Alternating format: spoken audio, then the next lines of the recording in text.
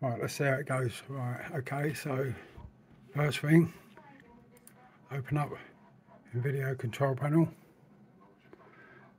At the moment I'm running three separate screens. Configure surround and PhysX. Span displays with surround. Click apply.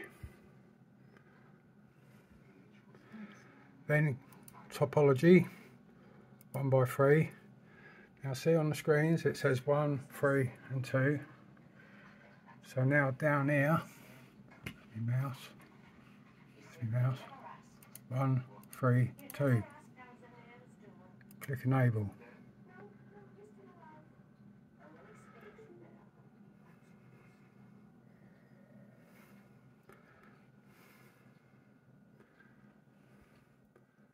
Now, hang on.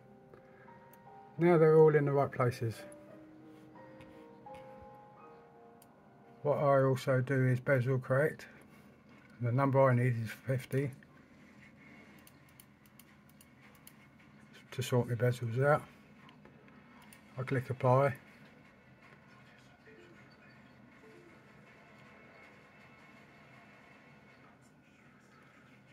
Then wait for that.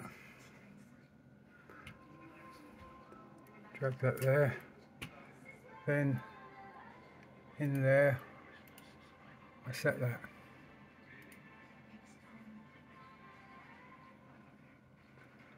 Now I'm bezel corrected as well as you see by that going behind. There you go. Hope it helps